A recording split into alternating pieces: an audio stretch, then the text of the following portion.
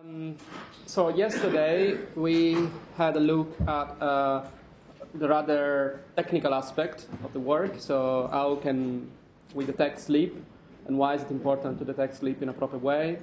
How do we define sleep in flies?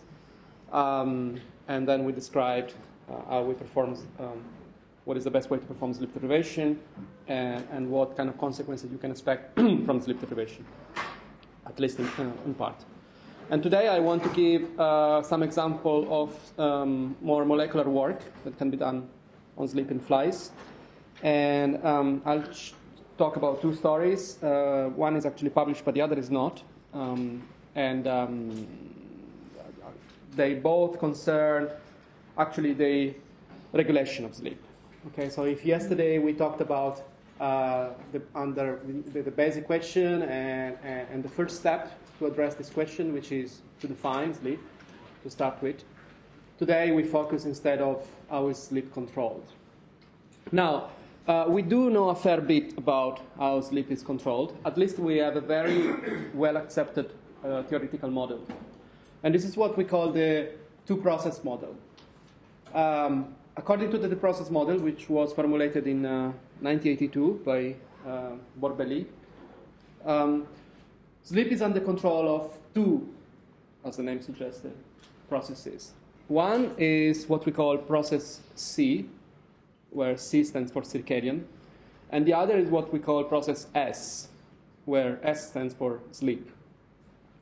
Now, about circadian, we, you might know this, we, we, know, we know a lot. We already touched lightly on this yesterday, but um, the circadian field has been extremely successful. In fact, it's probably one of the great success story of Drosophila, not just neuroscience, but of Drosophila biology. Because virtually everything we know about circadian biology uh, comes from flies. And, and, this is really one of those fields where then everyone else has just been reproducing what we found before. Um, in flies, we know obviously about the genes that control the circadian rhythms, but we also know about the neurons. Uh, we know that the circadian rhythm in flies is under control of a uh, so called clock neuron group, which is a group of a handful of neurons which mainly express PDF as a um, peptide, uh, which then synchronizes uh, the clock um, throughout the body. Um, and we know that something similar happens conceptually, but also molecularly uh, in, in vertebrates. And so this is, is a very important component of uh, our behavior and, of course, of sleep. So circadian regulates when you're tired, when you're not tired. So this is the time of the day, you know, early morning, uh, 9, 10, where you are supposed to be alert. So enjoy this moment as long as it lasts. Um, and then if you had a rough night yesterday night, you'll see that after lunch, it'll be a bit trickier to stay awake. And this regulation is driven by the circadian rhythm. In fact, you can, even you humans, can undergo, say, an all nighter and uh, sleep, don't sleep throughout the night. Comes this time of the day, you'll still be okay. And many people, if they do this for the first time, they will think, actually, I'm, I'm cool with this. I could do this more often. And then, you know, the day goes by, you have lunch, and after lunch, when the siesta kicks in, then you realize what, a, what big of a mistake it was. And the same happens in flies. The, the, other process is what we call process S, and, and it's what is regulated by the homeostasis. So it's actually what eventually will make you tired if you didn't have enough sleep. Or conversely, is what will make you, you know, less prone to fall asleep if you had a long afternoon nap. So it's the body regulating its own amount of sleep. And we don't know anything about it, really. I mean, we know it exists. We know it's basically so universal to be considered one of the definition of sleep um, we know that in mammals it manifests itself not much in terms of sleep length, but rather in terms of uh, sleep depth. And we can measure the sleep depth using electrophysiological uh, correlates. Um, in flies, uh, we know again it exists because we observe it as a, as a way of a rebound. So we, we sleep deprive the animals, and then the day after they sleep longer. Uh, it's not necessarily uh, that they try to recover all of the sleep loss again, similarly to what happened in mammals. If you sleep deprive fly for 12 hours, they're not going to recover 12 hours. Okay, they'll just recover maybe 60, 70 minutes, similarly to what happens to us.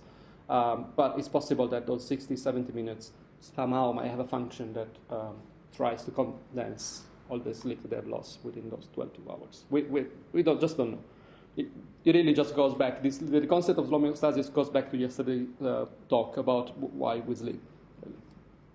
Uh, what is it that the, the, the, body or the brain is trying to uh, capture on. Now, these two things integrate in this way. Uh, the circadian rhythm is very stable. You cannot really mess with it. But the uh, homeostatic process uh, is dependent on your previous activity. So if you don't have sleep throughout the night, your pressure will build up.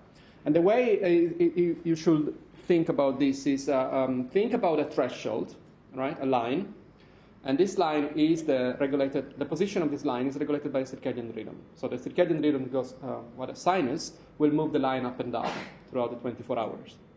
And then the, the, the other component, the process S, will might at one point intersect the line. If the process S goes above the line, then you feel tired and you want to sleep.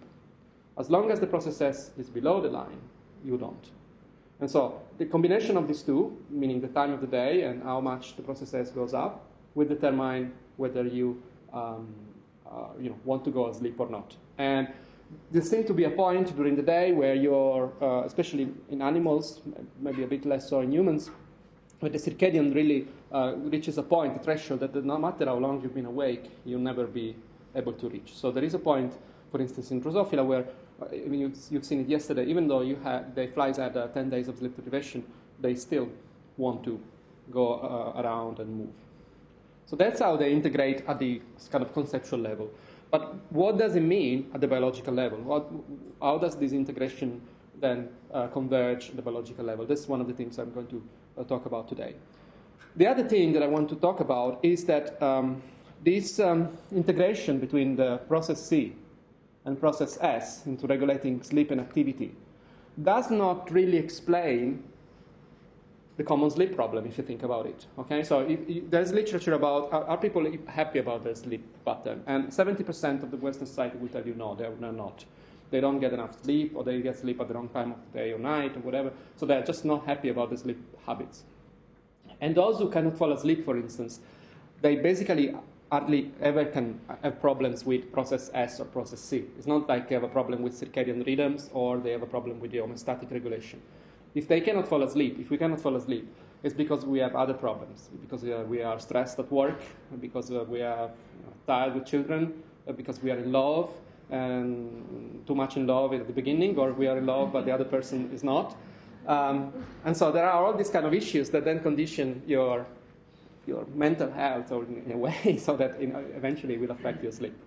And and this thing, this aspect, which we, you can call environment, um, uh, I call it environment and emotion, so propose a process E, is not formalized into two process model. So the question is, do we have to think about a three process model that then takes this into account as well? So to address this question, we turn to our favorite organism, and we looked at how social interaction modifies sleep needs. And we looked at uh, two ways of social interaction. Um, there's a male-female interaction, so we call it, in this work we call it romantic interaction, and male-male interaction, which as you know is often aggress- aggressive. Right, um, how do we do this? We use um, those machines we described yesterday, the Ethoscope, and the paradigm is, uh, is very simple. We basically, in all experiments, we use the same recording setup that I um, normally employ for just regulating sleep. But this time, for at least uh, 24 hours throughout the protocol, we actually had what we call interaction. So the experiment is done basically by putting a naive fly in a tube, um, uh, same as yesterday. When we want really to uh, achieve real naivete, we just put the pupa, in fact, inside the tube. Um, so we take the pupa before, you know, as they develop, you put them into the tube so that the flies are actually born into the tube. The, the, the tube is that world. That's all they know about the world. Um, they then record sleep for a baseline period in those conditions. And then on interaction day, we gently insert a intruder into this tube. And the there can be another male or a virgin female. And so then they have this kind of interaction. With the females, obviously, they, they think it's going to be fun, and they're going to 24 hours to basically court continuously. And for the male, uh, it's going to be a kind of an aggress- aggressive interaction because it's, um, uh, it's an interaction forced in a very contained space, right? So there's not really much room to go. And they share the same side of the food. So if, if they want to eat, they have to be, only one person can eat, at, only one fly can eat at a time. So it's kind of, a, it's, a, it's an ideal um, setup for creating an aggressive style interaction. After the interaction, we remove the intruder, uh, which we recognize usually because it has a different eye color or different sex, of course, and we measure what happens next. And so when we done this experiment the first time, this was actually an experiment that was done uh, when I was a postdoc, in fact, initially, um, we found a um, surprising result. So I'm going to show data in this format, which is similar um, to what you've seen today, but uh, a bit more um, spelled out. So the baseline is again the sleep, the undisturbed sleep. Then this is the sleep that happens during the interaction day, and and rebound is shown as a profile, but also as a quantification, at least in the first three hours of the day. And you'll see that in, in all cases we have gray as a control, so these are flies that underwent the same manipulation, but then we didn't end up putting any intruder in the tube. Uh, blue is a male-male interaction, so that's the aggression interaction. And this uh, kind of pinkish is the male-female interaction. In all cases, we record the male, okay? The first, the, the, the, the first male that was even the baseline. And you see that the interaction is um, basically um, already different. Uh, in the case of male-female interaction, these animals basically they, they completely lack sleep. An, it ends up being a very efficient sleep deprivation technique. Uh, and this is, in fact, the reason why I, I done these experiments in the first place when I was a postdoc, because I was looking for a, way, a different way of doing sleep deprivation than just the earthquake system that I showed you yesterday. Something that was a bit more challenging intellectually than just being shaken around. And, and, and it, this worked quite well. Um, and there, actually, I focus on the male-male interaction, where you see that there is a bit of sleep deprivation, um, but not as efficient as the, uh, apparently efficient as the um, male-female interaction.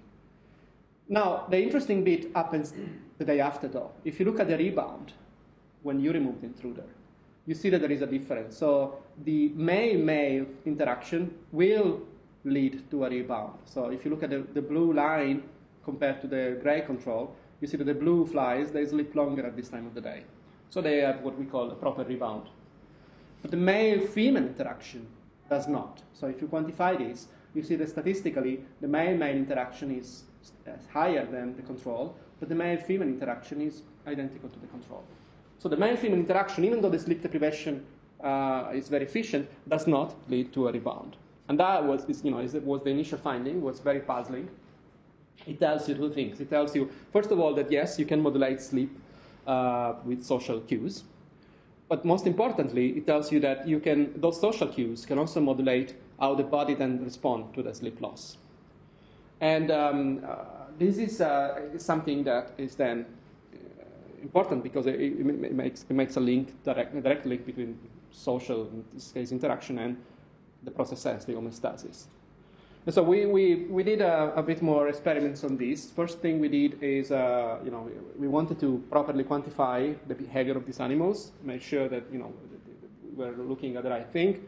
So we actually scored a number of them. I think this is uh, 12 and 12 animals along the uh, 24 hours, uh, divided uh, by uh, behavioral type. This was done actually manually, it was not done by a machine, just to confirm that the machine was getting the right data. Um, and you see that um, the males uh, show quite a bit of fighting here and there.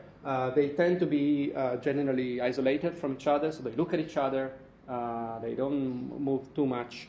it's not, in fact, totally clear whether this is real sleep or whether they simply just freeze in front of each other and you know wait for the other person, for the other fly to make the first move. It's totally possible this is the case. Um, with, in the male-female interaction, on the other end, is just clearly obvious. They, they keep, basically most of the activity you see is, is courting. Okay, what, what you see is the male chasing the female continuously and continuously and continuously. Uh, the, the female is virgin, so she's going to be receptive within the first hour, usually uh, one, and a, one and a half hour, you have the first event of copulation for pretty much all the pairings. All the pairings we analyzed had copulation within the one or two hours. Uh, some of them managed to get laid twice. Uh, I think there is a lucky guy who gets to three times uh, here. Um, it's very rare, um, but in that environment it does happen, even though you know, the female will reject at the point. But uh, what you see clearly is that, especially in the day when they also have the visual cue, it's basically 100% constant courtship that they undergo. So it's, they, it must be really tired, tiresome to just go after the female and, and keep courting and courting and courting, being rejected most of the time, in fact. But it, why then that doesn't, this doesn't lead to, to a, a rebound? Right, so we started to investigate the possible causes, and we basically repeated this experiment that I show you in different mutant background. So what are these? Um, dunce and rutabaga, they are uh, very well-known memory mutant. These are flies that have problems remembering, okay? And so we thought, maybe when you remove the females, these flies, they are in love and they remember the, the, the previous encounter the day before, and that's all they can think about. And they cannot fall asleep for that. And so we thought, maybe is memory involved? So we did an experiment with dunce and rutabaga, and the answer appeared to be not really. So we, we then assume that perhaps was something linked to the communication between the two animals. And so we started looking at the uh, genes or factors that uh, have to do uh, with, um, with uh, other communication. So the first experiment we've done is we, in, in, in, the, in the classical, well, in the kind of normal condition, we also add a female of another species. So we add a female of um, Drosophila simulans. Now, the, the, the male uh, flies, they, they do court, and they also do mate with uh, Drosophila from other species. Uh, but they need a stronger incentive to do that. So as long as they are in a confined space like this, they recognize that this is a, you know, a female. Um, maybe she smells a bit differently because it's not melanogaster, but you know, still it will be uh, still courting most of the time. Uh, however, what we saw in this case is that after uh, a day of courting with simulans, the rebound was actually there. Okay, so you don't get the same phenotype with simulans that you get with a melanogaster female. So it tells you that something about the, there is something species specific about this. And so that was the first clue that the communication, for instance, uh, pheromonal communication could, could be involved. Then when we ask, is this some uh, cue that is left, uh, like olfactory cue? You can test this by uh, using this splice. This is a so-called ORCO mutant. ORCO is a gene that works as a co-receptor for all your olfactory receptors in the fly. Uh, it's also known as OR83B. Uh, it's a very important gene because it's conserved uh, across evolution, so it might be, for instance, very crucial to uh, study uh, mosquito and malaria spreading. So if you, you know, our mosquito recognize our smell and blood, uh, uh, the smell of the blood, um, will probably go through some orco equivalent. So it's been studied a lot. And we know that orco flies are completely anosmic. They just cannot smell anything. But yet, the phenotype we see in orco flies is really um, the same that we see in wild type flies. So the, the cue that we're looking for is not a olfactory cue. Um, could be a gustatory cue, and more specifically a sex pheromone. Makes a lot of sense. After all, it's sex phenotype we're after. And so this is the experiment we've done. Uh, we have a control, male-male interaction, and male-male interaction where the tube was smelling of this. And this is basically a, you know, the secret to uh, um, successful courtship. It's the, the smell of a, of a, of a, of a uh, female fly. It's the combination of the two main uh, pheromones that recognize uh, uh, Drosophila melanogaster female. So when you put this into the tube, what happens the, the, day after the interaction? What happens is that you suppress the rebound. Okay, so even though the male had the usual aggressive interaction that will lead to a rebound, when the smell is present into the tube, suddenly something changes, they get excited, and they don't want to fall asleep anymore. So that tells you that a sensory stimulus, the day of the rebound, can actually suppress the rebound itself.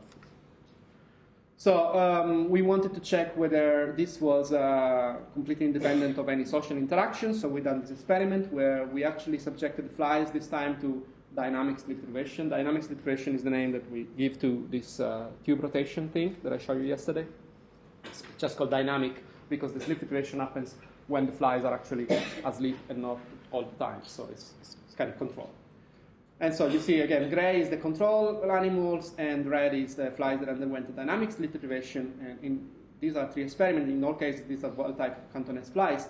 What changes between these three experiments is the tube in which they end up the day after the sleep deprivation. So they do the sleep deprivation in the normal tube, and then after the sleep deprivation, we uh, briefly move the flies to a new tube. And the new tube could be uh, actually the same tube, so it's just a mock act of moving them, that's the proper control.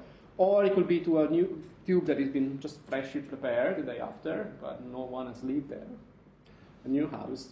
Or we put them to a tube that until minutes before had housed a female fly. So that's a tube that smells like a female fly. And what you see is that you do have a rebound in this case, you do have a rebound with a fresh tube, but again, you do not have a statistical significant rebound when you put in the uh, tube that smells like a female. So it's a confirmation that this uh, cue of suppressing rebound comes from the, the smell of the female. So how do flies detect the smell of the female? It's actually, I'm saying smell, but it's not a smell. It's a gustatory input, as I said. And comes is detected by mainly by the tip of the legs.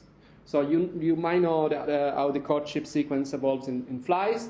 Um, the first step um, between a male and a, and a female fly is uh, orienting. So the male has to actually understand where the female fly is. Then he will approach her, and he will start touching her. It was called tapping.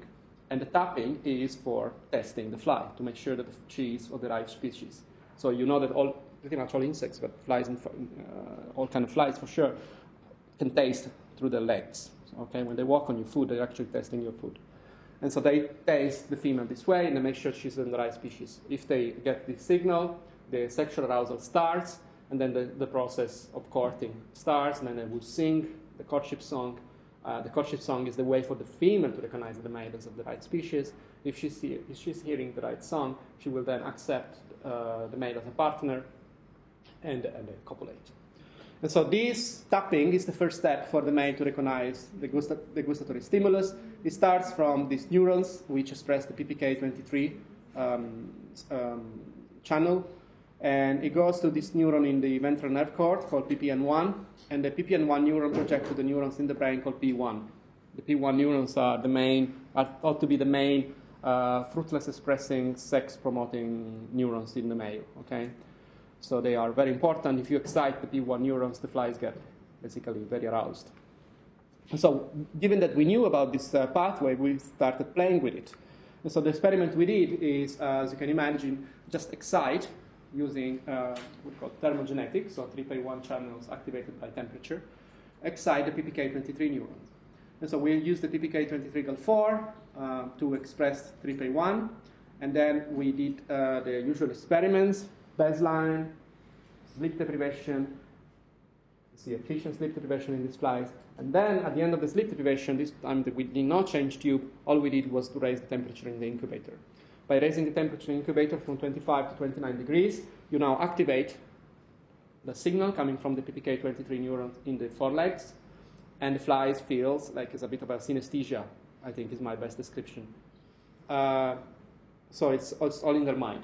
You have this, this deprivation, then you raise the, the temperature, they feel in the forelegs as if a female fly was there, and that's enough to suppress rebound. Okay, you see the rebound in the parental controls. In these conditions, they are not affected by the temperature raise, but you do not see the rebound in the uh, experimental flies, which express the TrpA1 and the GAL4. Okay, this is control obviously with, with a similar experiment where you go from 25 to 25. It's all All right, so um, we know that this has an effect. We just wanted, for the sake of it, to see uh, whether we can also elicit the same effect with uh, higher uh, neurons in the brain. And so, conveniently, we can use the P1 neurons, as I said, which is very strong uh, activator of sexual uh, behavior. And so, we do the same experiment again with TrpA1. But this time, we, dri- we drive TrpA1 with a P1 driver. Um, and the experiment is here. Baseline, and then induction day, again, this time there is no sleep deprivation in terms of mechanical or social, but what we do is we raise the temperature, P1 neurons in the brain get activated, flies get horny, they feel like courting nothing because there's nothing to court, and that's enough to get a very efficient sleep deprivation, which really recalls of the male-female interaction, if you remember. Then we switch the, the temperature back to 25 degrees so that P1 neurons are possibly you know, back to normal. And we look what happens at the rebound. And you see that the rebound is actually gone. In fact, it's even lower than control. There's even less than control. So some kind of arousal persists in these flies. Uh, it could be residual activity of the PR neurons. Um, I don't know. I mean, really look for that. But um, definitely there is a negative rebound. In fact, even in, in, the night there is a bit of a negative rebound, and you see you see it quantified here. It's very staggering. so that again goes in the same direction. We wanted to go one uh, further step, and we then looked at flies that we know have are mutants for their normal way of uh, showing sexual arousal. And so we used uh, conveniently, there are two mutants in, the, in this pathway, um, which are actually mutant in the, in, um, in the pathway that uh, produces uh, octopamine starting from tyrosine. Okay? This is, uh, there's mutants in the TDC pathway and mutants in the TBH pathway. Sorry, in the TDC gene and TBH gene, both in the same pathway. Uh, one, uh, the TDH, the TDC mutants will lack tyramine and octopamine, while the TBH mutants will only lack, lack octopamine eventually. And why did we use these flies? Because it was shown before these flies have a different uh, complementary uh, phenotype when it comes to sexual behavior. So the um, TDC mutants, they are actually uh, extremely arousable and uh, um, they uh, court other males. They're so aroused that they, they're you know, happy with other males too. And, uh, um, and so what we've done is we repeated this experiment in this context, and you see exactly uh, the, same, the same phenotype. So the, the, the, TBH mutants, they are extremely aroused towards other females. Uh, the TDC mutants, they are aroused towards everyone. Okay? So in the, in the TBH mutants, what you see is the regular um, um, sleep deprivation towards females, and then again, the rebound is not just gone, but it's annihilated is basically no rebound uh, after the male-female interaction because they are so just hyper-aroused to start with. And the TDC mutants, on the other end, uh, they lack rebound also after the male-male interaction because they sh do show signs of court or courtship with males too.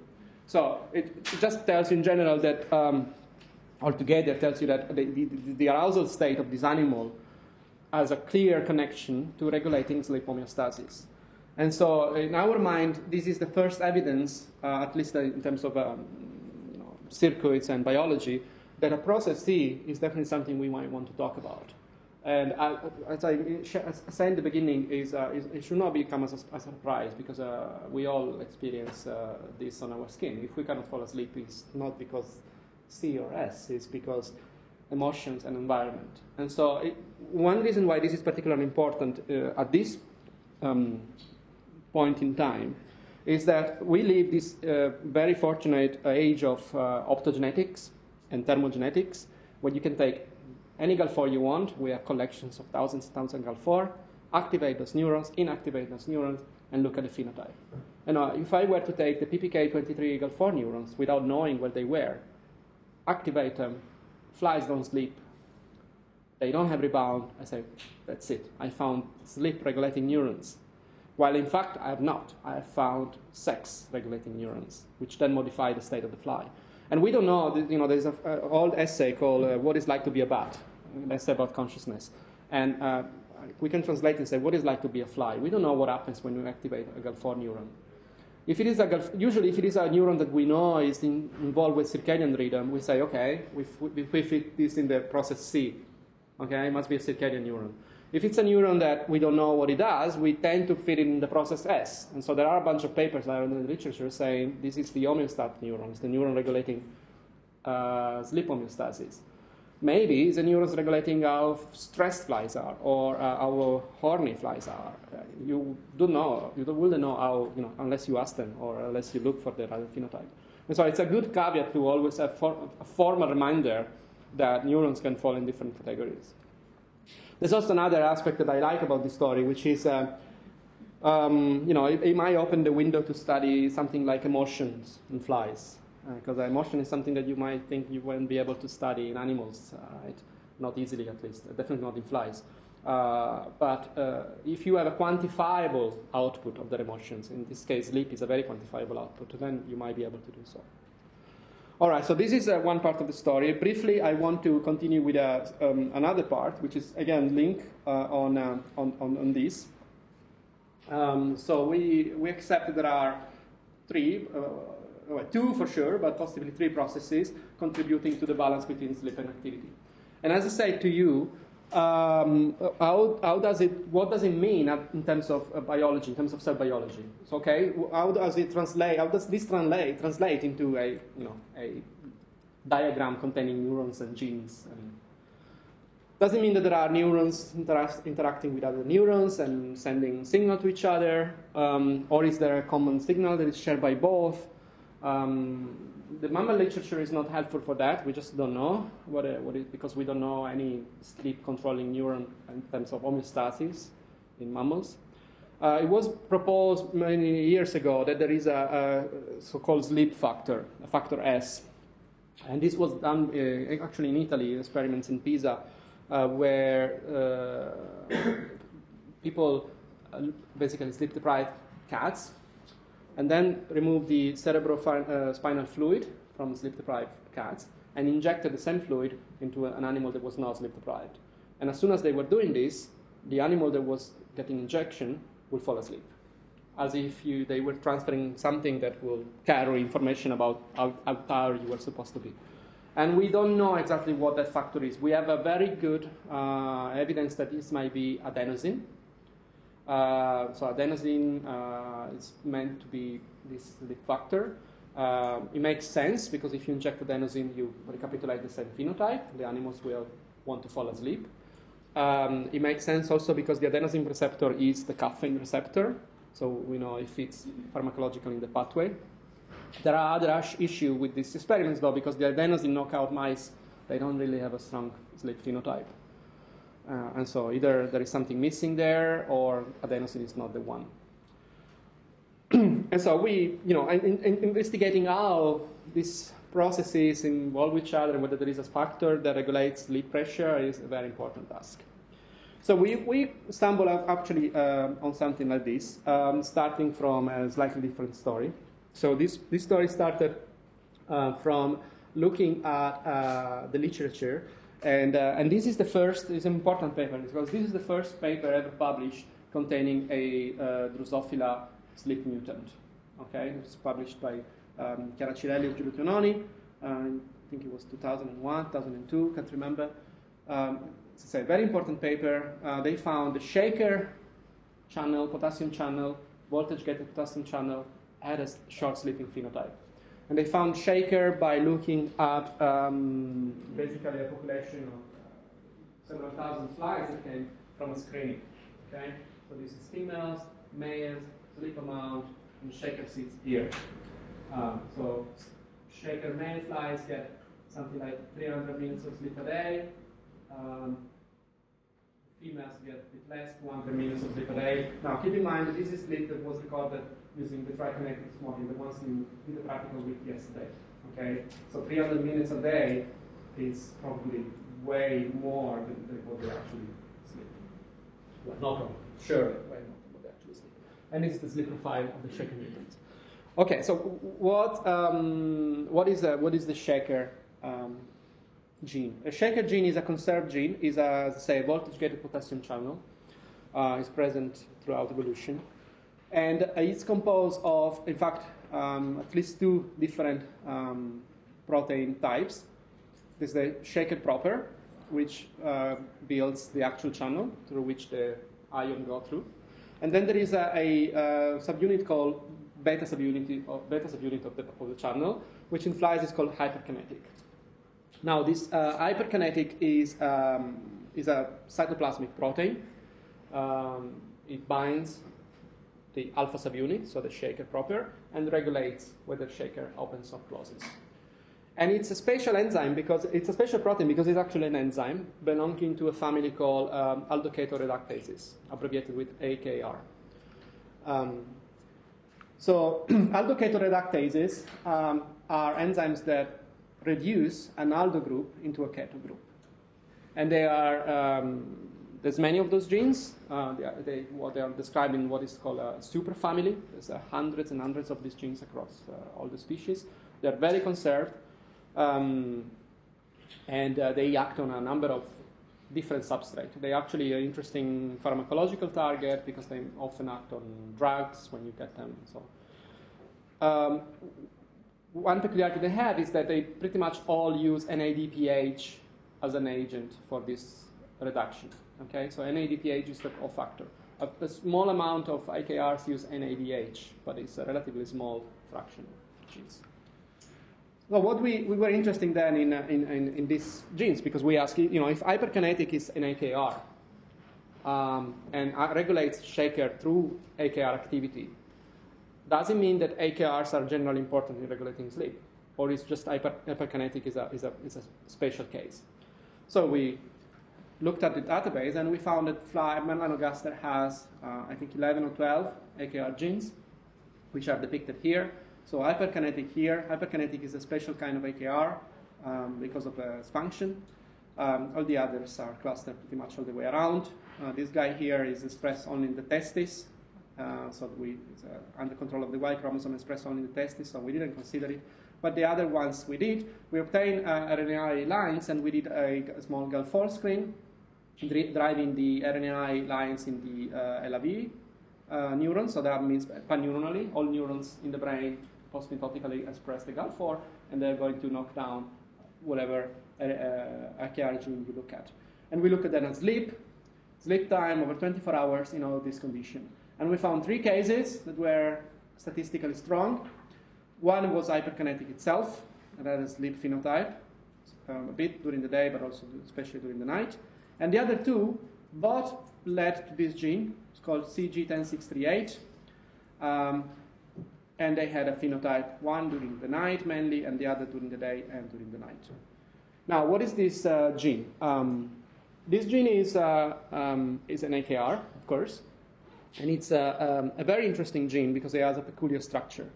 Um, the, actually, the two RNAi that gave us a phenotype target two different splicing isoforms um, that are produced by this gene. So um, this gene has this genetic genomic structure. There is only one common exon here, indicated in green, which uh, encodes something like 27, 26 amino acids.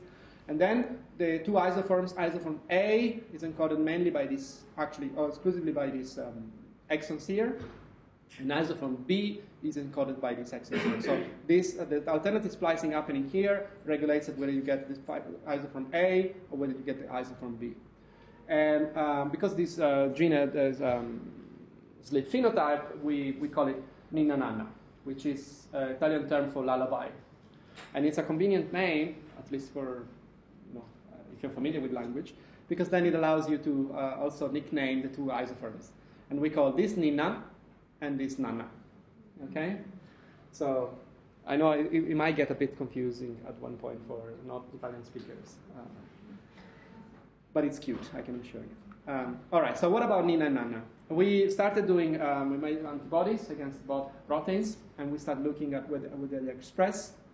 And we found, to uh, um, great surprise, that Nina is expressed in the circadian neurons. Okay, so I told you that the circadian clock in Drosophila uh, largely expresses these uh, PDF factors. So we have PDF uh, antibodies, we have PDF GAL4 lines, and we found that Nina, and you see it, uh, what is it here?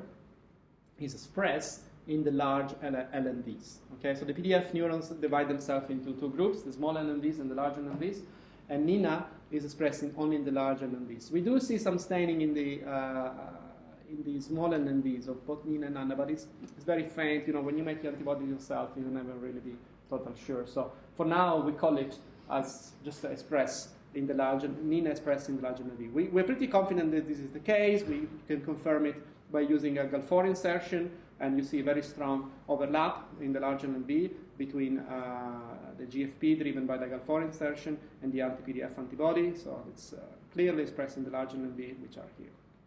And you can use PDF-Gal4 to drive down uh, the NINA expression, and you get a sleep phenotype during the night. Now, you might think that the sleep phenotype is nothing to write home about, it's not particularly strong, but in fact, it's as strong as it gets if you were to completely ablate those neurons. Okay, so those neurons, they have known, they're known to a role in regulating sleep during the night. If you completely get rid of them or silence them, you get a phenotype which is like this. So it's, it's quite a strong phenotype considering that. All right, so NINA is expressed in the circadian uh, neurons. Uh, what about NANA? Um, NANA, conversely, has a very different expression. It's mainly expressed in, uh, um, in, in, a, in, a, in, a, handful of neurons situated in this area of the brain. Uh, the cell body is here, one here, one here, and then they project uh, axons across each other and receive dendrites from the higher part of the brain. Here they do a, a small uh, round, uh, the small circle around the, the peduncles of the mushroom body, and um, what we've done, we screened through the VT collection in Vienna. We obtained a GAL4 line that recapitulated this expression, and we found this line conveniently. So this is the same neuron. If you stain for GFP, driven by the VT GAL4, or for NANA-antibody, you see that they overlap. So luckily enough, we found a GAL4 driver. We, drive, uh, the, uh, we drove the uh, RNAi using this GAL4, and lo and behold, we found a sleep phenotype uh, again.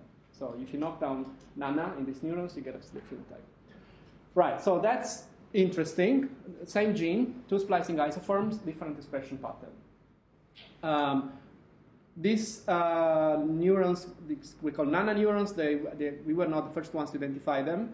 Uh, they were identified before. Uh, this is one of those cases where you just have to go through old paper and say, I think I've seen this pattern before. And then you test your memory as a, as a reviewer and reader. And I found these two papers, um, maybe there's more. Um, in this paper, these neurons were identified and called IPS neurons, and they are the same. You see that they do the circle here. And in this paper, they were called ICLI neurons. Again, they go up and they do the circle around the mushroom body. So these are the potentially the same the same neurons. So to make sure they are they were the same neurons, we basically looked at this literature. We looked at what kind of um, markers were characterizing these neurons. We did the staining, and in, in, in, fact they were the ones. So uh, they match both the tyrosine marker and the MIP marker, and so the match total, they are the same neurons. And these neurons were, which uh, you can call it ICLI, you can call it IPS, you can call it NANA neurons, at this point you can call it whatever you want. Um, they were identified before as regulator of, in fact, sexual arousal. Um, so they, they probably neurons that regulate whether you should, you know, uh, be sexually aroused or not. Now, uh, if you put them, overlay them uh, together, the NINA neurons in blue here and the NANA neurons in uh, purple, you see that they are actually quite close. And so the question is, are they close enough to actually make a connection with each other? And so we did uh, uh, a, a, we used a technique called GRASP, which is, I don't know if you're familiar with it, is a, is a very cool technique. It was initially developed in C. elegans, where you express one half of the GFP on all presynaptic neurons, and, and the other half of the GFP on all postsynaptic neurons, well, postsynaptic locations. And so if those are close enough and close enough to make a, form a synapses, then the GFP, GFP will reconstitute and you will see a signal. And so when we did GRASP in this way, we do see a signal, so we do see synapses between the PDF presynaptic connection and the NANA postsynaptic connection. So it tells you that the, actually the, the, the NINA and NANA form slightly indirect circuit where PDF neurons, to which NINA belong, connect to NANA neurons. And so this is quite cool if you think about it, because we already seen is a, is a gene that is, uh, you know, so one promoter, but two different splicing isoforms. One splicing isoform is uh, circadian, and the other splicing isoform is homeostatic, possibly. And, uh, and then they merge and they create these circuits. It's quite, it's quite scene. Um, whether um, the NANA neurons are um, really homeostatic, we're still un- 100% sure, but we have good evidence that they do alone control sleep. And again, this is an experiment where they, we associate them to homeostasis. So we look at the expression of NANA in these neurons uh, after uh, sleep deprivation, for instance, and you see the NANA goes up after sleep deprivation in those neurons. Um, and we look at also the calcium signal in those neurons after sleep deprivation, and you see that the calcium signal goes down after sleep deprivation. So what, what we think is happening is that uh, as, uh, the new, as the animal gets sleep deprived, NANA goes up, the signal, the, the firing potential of these uh, neurons goes down, uh, and this leads to a more, being more tired and the animal fall asleep.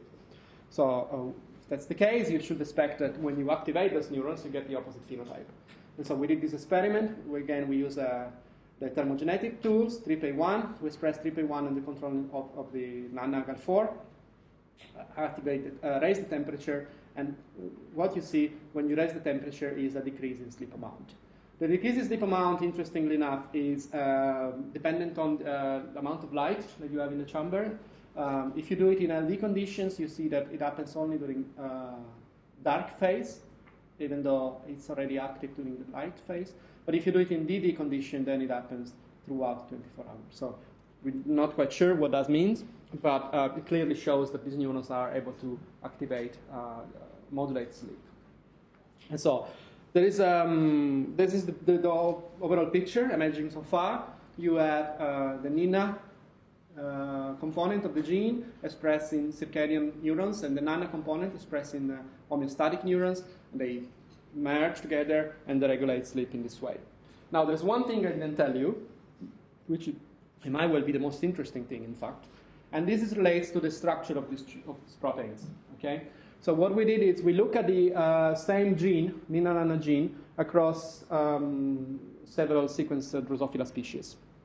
Now, you cannot read this, but when you do uh, this alignment, you will find that they share all the critical AKR residues, which you expect, with one exception. The exception is here in this pocket indicated in orange. The uh, NINA um, genes are canonical. They do have the orange residues, but the NANA isoforms are not. They actually have a conserved substitution of these orange residues, which is very unusual. What are these orange residues? They, they are here. These are the four residues that bind the phosphate group in NADPH. And they are important because if you remove, it's shown in vitro that if you remove these residues, then the protein does not have affinity for NADPH anymore, but it gains affinity for NADH, right? Which is the same molecule without the phosphate group. And so it's not a canonical AKR because it does not most likely use NADPH to work, but it uses NADH. And so why is this important then? Because uh, now you have a potential sensor for NADPH expressed in circadian neurons and a potential sensor for NADH expressed in homeostatic neurons.